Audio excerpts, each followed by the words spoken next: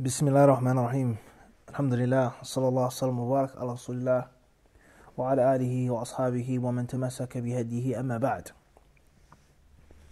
Speaking about the uh, uh, turuq al-tahammal or sigh al-ada, the ways of taking a report and giving that report, we left off speaking on uh, al-mushafaha uh, and al-ijaza and al-mukataba, etc., and also we mentioned the part in which the author al-hafiz bin hajar rahimahullah ta'ala he said واشترطوا في صحة المناولة with regards to al-munawala when the sheikh hands his notes to the student that he has to give the ijaza he can't just give the notes to the student but he has to verbally say that he has given the student ijaza for obvious reasons one says this and for obvious reasons one may reject this and one may say if he gives him his notes then isn't the physical body language more than enough to establish the fact that the sheikh is pleased with the student to narrate from him just like a contract, which is well known uh, in the traditional schools of thought as bay'ul mu'ata. Bay'ul mu'ata between uh, Imam Shafi'i rahimahullah ta'ala and other scholars. Is it valid or invalid? Bay'ul mu'ata. In which a person, uh, he picks up a commodity and another with another commodity and they trade it without saying anything without making any verbalization whatsoever. Is that a valid contract? Or does there have to be, or is there a must that there is a ijab and kabul? I'm selling, you're buying, we're trading, bartering, etc. So here he says, washtaratu, he says they hold it a, a shart, a condition, that when there is the way of taking a hadith known as munawala, is that there has to be uh, al-idhin bil riwayah there has to be an, an idhin biriwa, which is the permission to narrate. وهي أرفع أنواع الإجازة. And the author, Hafid rahimahullah, says is the highest type of ijaza. The highest type of ijaza is when the sheikh gives him the notes and also says, narrate them from me. And that's for obvious reasons as well. He has the notes himself and he has the direct verbal command uh, from the uh, sheikh himself. khairan inshallah ta'ala. And there are many different issues that pertain to this, uh, such as he says here in the Sharh, وصورتها أن يدفع الشيخ أصله أو ما قام مقامه للطالب أو يحضر طالب الأصل للشيخ ويقول له في السورتين هذه روايتي عن فلان فروه عني He says here, and uh, this is done when the sheikh does one or two things. Does one or two things. The first is is when the sheikh gives his asl. And what's meant by asl is his original notes, his master copy. أو ما يقوم, he says, مقامه, أو ما قام مقامه, or that which is a replacement of that master copy, a copy. Okay, the notes were rewritten. Uh, he gives them to the disciple, the talib, the student. Or the student brings the asl to the sheikh. However, he got that asl. The sheikh let him hold it, let him borrow it, whatever the case may be. The sheikh, the student wrote it down, or whatever the case, he presents it to the sheikh, and the sheikh says, in either of these two scenarios, this is my uh, riwayah, my reports. You can now narrate them from me. You can now narrate them from me. He then says, وشرطه أيضا أن يمكنه منه إما بالتمليك وإما بالعارية لينقل منه ويقابل عليه وإلا إن ناوله واسترد في الحال فلا تتبين أرفعيته لكن لها زيادة مزية على الإجازة المعنية أو المعينة وهي أن يجيزه الشيخ برواية كتاب معين ويعين له كيفية روايته له. وإذا خلت المناولة عن الإذن لم يعتبر بها عند الجمهور وجنها من اعتبرها إلى أن مناولته إياه تقوم مقام إرساله إليه بالكتاب من بلد إلى بلد. وقد ذهب إلى صحة روايته بالمكاتبة المجردة جماعة من الأئمة ولو لم يقترن ذلك بالإذن بالرواية كأنهم اقتفوا في ذلك بالقرينة. ولم يظهر لي فرق قوي بين مناولة الشيخ الكتاب من يده للطالب وبين إرساله إليه بالكتاب من موضع إلى آخر. إذا خلا كل منهما عن الإذن حافظ بن حجر رحمه الله تعالى he says that another condition is that he gives the notes to the student. Either he actually gives them to him, these are yours, or he lets the, him borrow them. He lends them to the student for him to rewrite it and to check it and make sure that it's accurate. Uh, and if that's it, if that isn't the case, if he just gives it to him, وَاسْتَرَدَّ فِي الْحَالِ and then immediately takes it back, then it isn't anything which is stronger than the previous types. It isn't nothing special, except that it has a, a higher level than the general uh, uh, or yani, than, than the type of ijaza, which is muayyana for something specific. Okay, um, that is, he says, وهي أن يجيز الشيخ, and that is for a sheikh to allow the student to narrate one book from him. Okay, and to narrate how he's to or to uh, specify how he is to report this book from him, and not give him a general ijaza. All his hadiths, you can only take this juz'a from me, or this, these are hadith of fulan, and so on and so forth. Khairan inshallah ta'ala. So he says that if the munawala doesn't have idhin, if there's no permission, no verbal permission given, after he hands him the notes, then most of the people of knowledge, they don't consider it They don't consider it. Not all, but most. Khairan inshallah. Let's move forward. He says, وَكَذَا اشْتَرَطُوا الْإِذْنَ فِي الْوِجَادَةِ والوصية بالكتاب وفي الإعلام ولا فلا عبرة بذلك كالإجازة العامة وللمجهول وللمعدوم على الأصح في جميع ذلك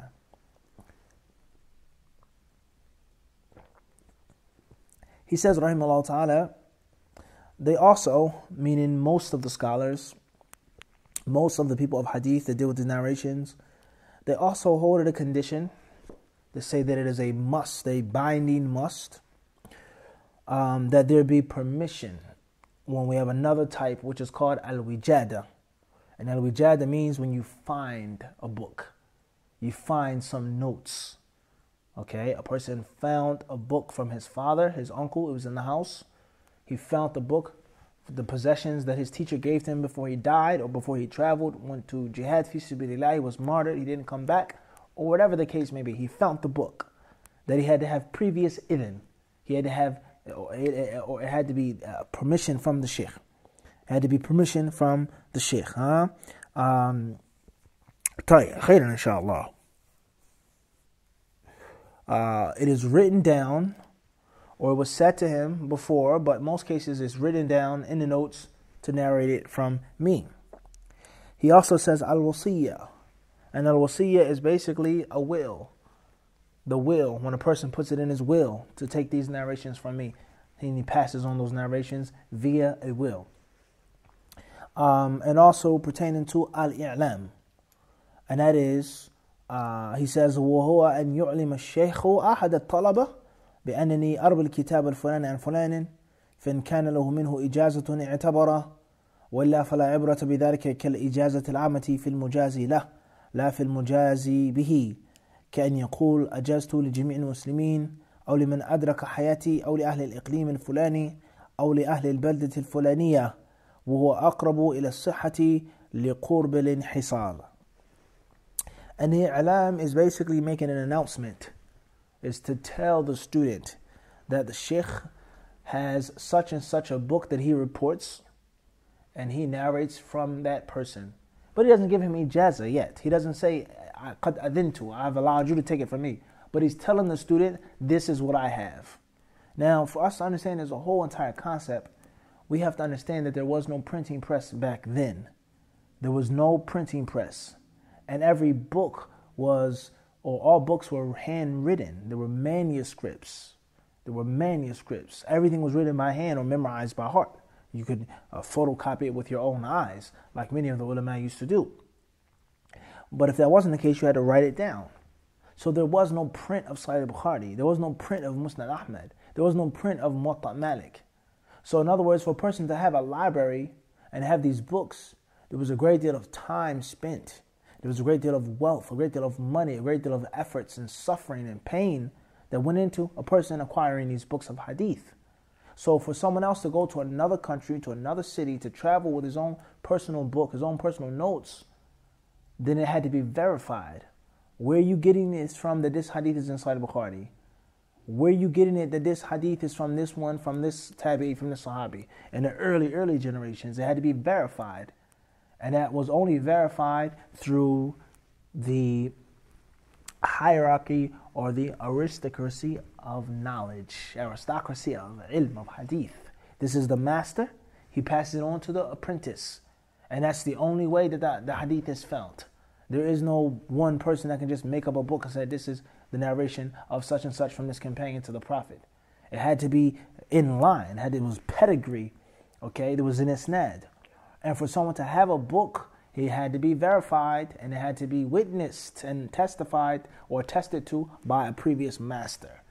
And there are different ways of verifying, different ways of attesting, and that is what is meant by a tahammul, that is what is meant by sir wal adad. That is what was meant by ijaza, munawala, i'lam. He wrote to the student, he gave the student the books, the, the student found the book, etc. Everybody understand this?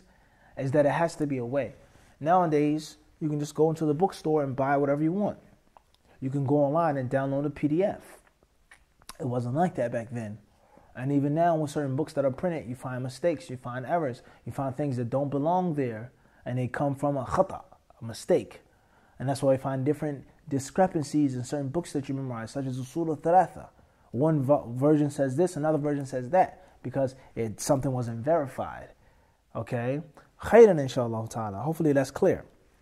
So he says here, uh, with regards to al-i'lam, and that is for the teacher to inform the student that he has a hadith or he has hadiths that he reports from such and such.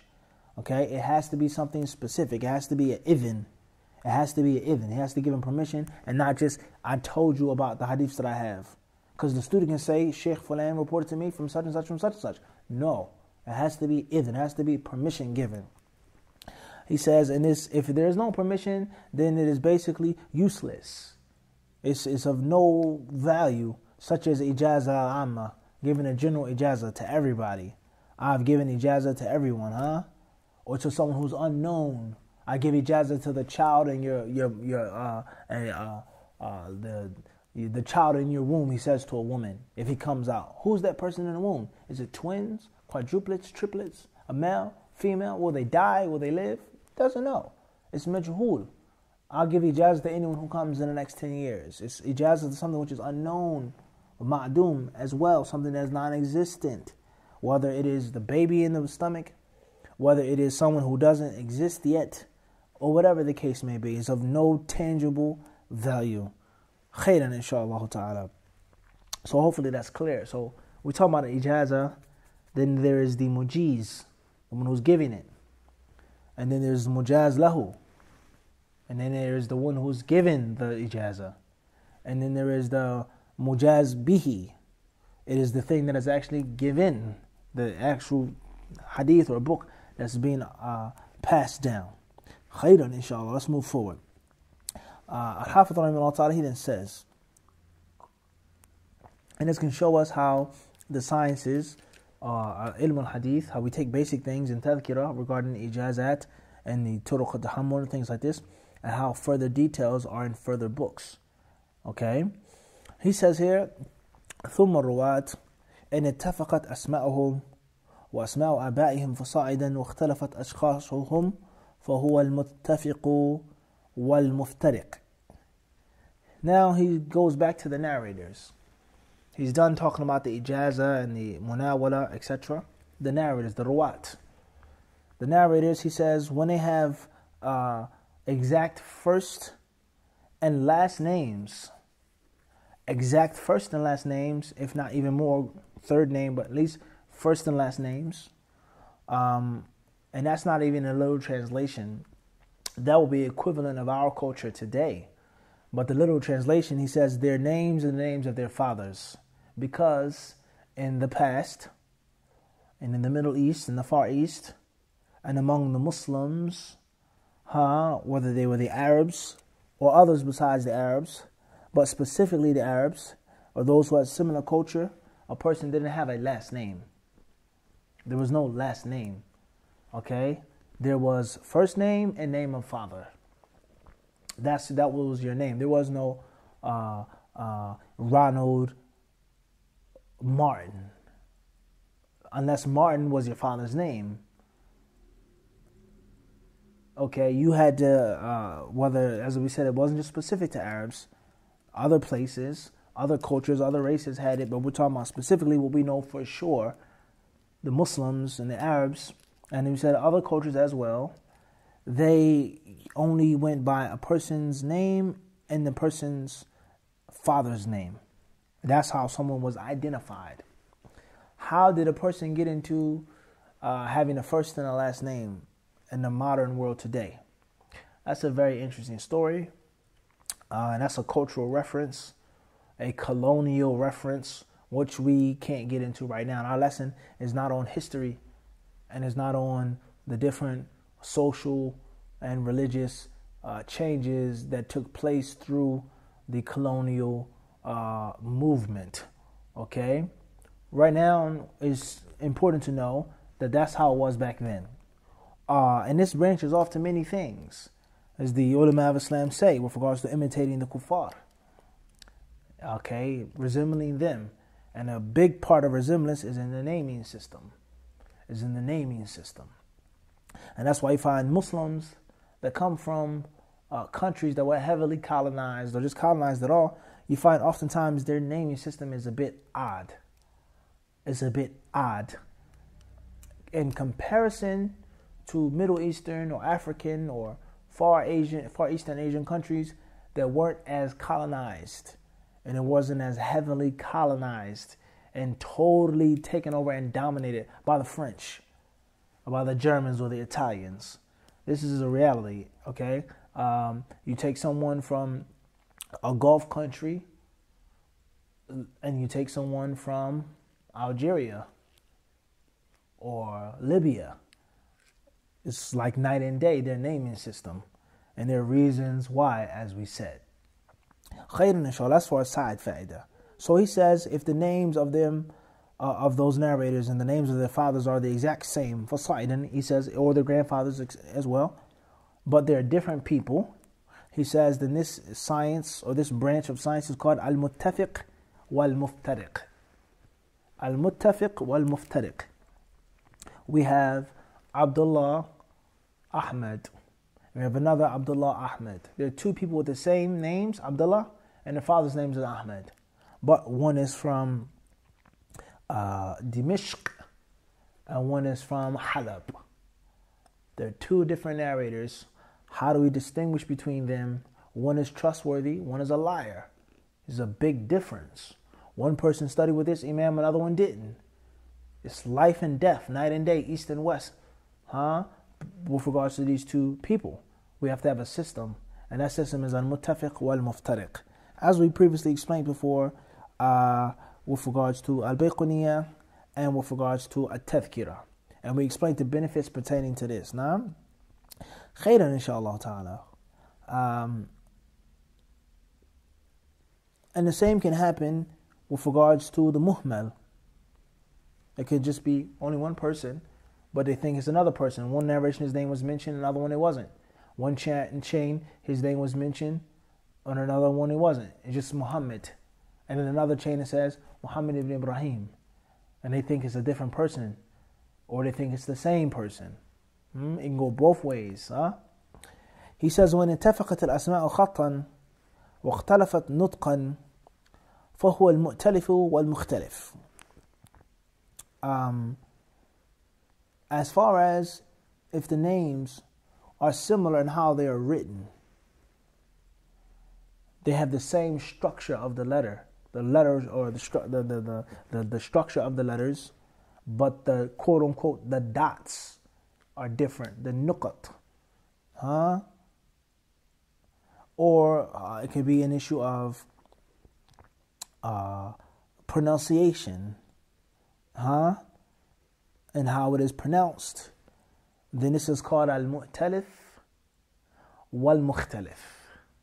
Al-mu'talif wal-mukhtalif, just like we took in the previous books as well. So we have uh, uh, sim- very, sim- very simple, very easy, okay? Just like we previously explained regarding a tashif, regarding a tashif, nam, and with regard to maqlub and things like this. We have Bashir and Bushair and then we have a third, Bushayr. We have Hamid, we have Humaid, and we have Humayyid. All of them are spelled the same way, the same letters, but the pronunciation, the nutq is different. Okay? And uh, the same applies to with regards to if the dots aren't there. Okay? If it's a Bashir or uh, uh, Yasar. If you take out the nuqat, it's very similar. And as we said in the past, there was no printing press. There was no standardized print. Oftentimes, as you see in the, the early manuscripts of the Quran and Kareem, of the Mus'haf Sharif, you'll find that there's no dots whatsoever, or very limited amount of dots. That's because they knew what the words were. Okay? They knew what the words were and they didn't need those dots. Those dots were later on added. They were added later on. So you take the word Bashir, or a better word, Bashar. Bashar is written the same as Yasar. Huh? وهكذا. خيرا inshallah we explained that as before as well. He then says here when اتفقت الأسماء واختلفت الآباء أو بالعكس فهو المتشابه وكذا إن وقع الاتفاق في الاسم واسم الأب والاختلاف في النسبة As far as if the names are the same, meaning the first names, but the names of the fathers are different, or vice versa. different first names but have the same names of their fathers, then this science or this field is called al mutashabih. Al mutashabih. It's called al mutashabih. Al mutashabih. Tayyib. Uh, he mentions an example here of Muhammad ibn Aqil and Muhammad ibn Uqail. One is from Naysabur and other is Firyabi. And they're both famous and they're very similar in their tabaqa, in their age, and in the scholars that they took from and the students that they had. So the whole purpose of this is distinction. It's to distinguish and to differentiate and to point out and pick out and finally or to, to classify it with a fine tooth comb. There was no mixing up and no jumbling up, as we previously had explained in detail, and how advanced and ahead of time the Muslims of the past were. Khairan, inshallah ta'ala. He then says here, uh, and the same rule applies if they have the same name and the name of their fathers is the same as well, but their nisbah, their uh, ascription or affiliation is different. Huh? Whatever that nisbah is, whether it's nisbah to a country, nisbah to a town, nisbah to a city, nisbah to a hirfa, a, a, a, a job, hmm? an occupation. In other words, same first name, same last name, different occupation. So we have John Smith and John Smith, for example, in our Western culture. John Smith and John Smith, same first name, same last name. One John Smith, we say John Smith, huh? He's the bottle maker. And then we have John Smith, who is the butcher. Different uh, ascriptions to different jobs. Or John Smith from Boston. And then we have John Smith from Chicago, for example. Or in one city, the same city. وهكذا وهكذا خير إن شاء الله. He then says here ويتركب منه ومما قبله أنواع منها أن يحصل الاتفاق أو الاشتباه إلا في حرف أو حرفين أو بالتقديم والتأخير أو نحو ذلك. He says here, um, and from what we've just mentioned and what we previously mentioned before is for there to be similarity in name or exactness in name or uh, he says in a harf or harfain, one or two letters, or taqdeem, ta'khir, things like this, like we just explained. John Smith, John A. Smith, Yasar, Bashar, Bushayr, it's all concerning one basic concept, and that is similarity. And he mentions many examples of this, huh?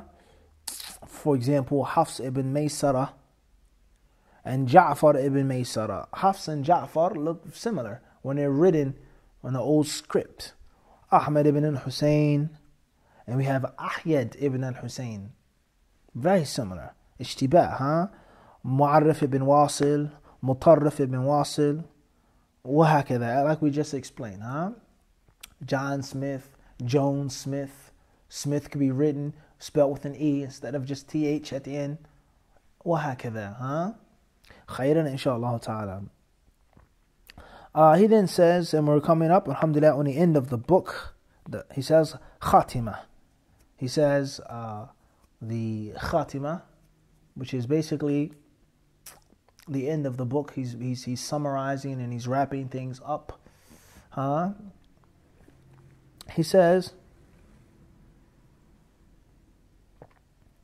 ومن المهم معرفة طبقات الرواة ومواليدهم ووفياتهم وبلدانهم وأحوالهم تعديلا وتجريحا وجهالة he says from the important things in this science, ilm al-hadith, is knowing the tabaqat of the narrators, their levels, the levels of the narrators, the chambers of the narrators, huh? their degrees. And we mentioned before that the word tabaqa has a general meaning of similarity in age and teachers and instructors. These two narrators are from one tabaqa, meaning their age is similar. And they have similar teachers. التقارب في السن والإسناد في السن والشيوخ 26, 24, 23 هكذا and they both study with the same teachers. A contemporary, a colleague, or even one may say a rival. Someone who is a year older than you, a year younger than you, when you were in Egypt, you guys both study with, with similar teachers. You may have an extra teacher you didn't study with. She has a teacher that you didn't get to, but you generally took from the same people in the city in Egypt. Huh? So that's what's meant by the word tabaka, as we've explained. And this is one of the most important things when you start talking about the study of isnad, is the tabaka. So he says here, from the important things in this science is knowing the tabaqat of the narrators. Khayr inshallah. He also says, وَمَوَالِيدِهِمْ and knowing when they were born, وَوَفَيَاتِهِمْ and knowing when they died. And we explained that, alhamdulillah, a long time ago in detail. The utter importance of history like white on rice. We explained that with the examples, the importance of that. He says, وَبُلْدَانِهِمْ and also knowing their countries. Knowing their countries. Huh? Knowing their what? Knowing their countries. Um, and that's for the purpose of verification. That's for the purpose of precision, the purpose of accuracy. He's from Basra, he's from Kufa. His, these are his students, these are his teachers. This chain is connected, this chain is disconnected. that? Like we've explained before. Um, he gives an example of how one narrator could be from two tabaqas. Two tabaqas. And that is the example of Anas ibn Malik radiallahu ta'ala He says from one aspect, in one angle, he's from the tabaqa of the Sahaba. He and Abu Bakr and Umar are in the same tabaqa. They're all Sahaba, and they all heard from the Prophet directly. Rather, Anas radiallahu he narrated more hadiths than Ali and Abu Bakr put together. But from another aspect, he is considered to be from another tabaqah. He's not on the same level as Abu Bakr Umar because he's far younger than them. They're older than him. They did more things, they saw more things, etc. وهكذا. Uh, he says also very important is to know the state of these narrators. What is their level of trustworthiness or lack of thereof? How strong they are or how weak they are. Hmm? how strong they are, or how weak those narrators are. The strong narrators and the poor narrators. The student of knowledge who wishes to study ilm al-hadith, he has to get, he has to roll his sleeves up and get his hands dirty in this and read these things and practice. He says, wajahalatan, and also a person being unknown, like we previously explained. The types of majhul, the types of jahala, and the reasons. He then says, rahimahullah ta'ala, wa maratib al-jarh, He says, وَأَسْوَأُهَا الْوَصْفِ بأفعل كأكذب الناس ثم دجال أو وضاع أو كذاب وأسهلها لين أو سيء الحفظ أو فيه مقال It's also very important to know the maratib al-jarh, the levels of jarh, the levels of a narrator being disparaged or attacked, like we explained before. وَالطَّعْنِ إِمَّا يَكُونَ لِكَذَا We explained that. What's meant by al-jarh? The necessity of grading the narrators and speaking for them or against them for the sake of preserving the sunnah of the Prophet alayhi salatu wasalam. We'll stop here. Bidnillah subhanahu wa ta'ala. My advice to the students and to the learners, whoever you are, wherever you may be, is you must practice. You cannot take a 30 minute lesson just from me and think that's enough. Now you have to read and study. What we took in this book, from this book, see if you can find it in the books on your shelf even in English. See if you can find in the books on the shelf in Arabic. Go online, go and research. Read the books of Sheikh Al Albani, rahimahullah ta'ala. Read his takhrij, Irwa al Ghalil, and Asilsila uh, Sahiha and Da'ifa, etc. Read those books, and then you'll see some of the things that we discussed. This narrator, this is Da'if, أخرجه فلان, this is a different tabaqa, this is mudallis, وهكذا وهكذا. الله سبحانه وتعالى بس والحمد لله رب العالمين.